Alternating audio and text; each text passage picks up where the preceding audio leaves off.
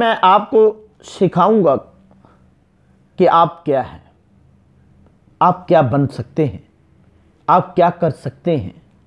आप ज़मीन से उबर कर आसमानों तक प्रवास कर सकते हैं। आप हवाओं को कंट्रोल कर सकते हैं। आप फिज़ाओं को कंट्रोल कर सकते हैं। आपके अंदर जो विल पावर है, वो समुंदरों से लड़ सकती है, पहाड़ों से लड़ सकती है। ये मैं आपकी बेदार करूँगा। ये नहीं कि जिस बातों की हद तक। मैं आपको सिखाऊँगा आपके अंदर की एबिलिटी आपके अंदर की जो विल पावर है, वो आपको कहाँ से कहाँ तक ले जा सकती है। मैं आपको दिखाऊँगा भी कि अल्लाह सुबहाना ताला ने सूरह अलतीन वस्म वन टू उसमें फाइव में खलक नल इंसान फ़ी अहसानी तकवीम।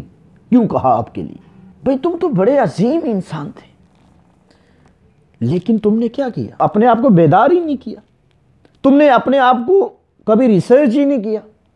तूने कभी उस नज़र से देखा ही नहीं है कि तू ही इकबाल का वो शहीन था जिसे आसमानों में परवाज करनी थी और आज तू ही वो शहीन है जो ज़मीन में खाक रूप हो रहा है।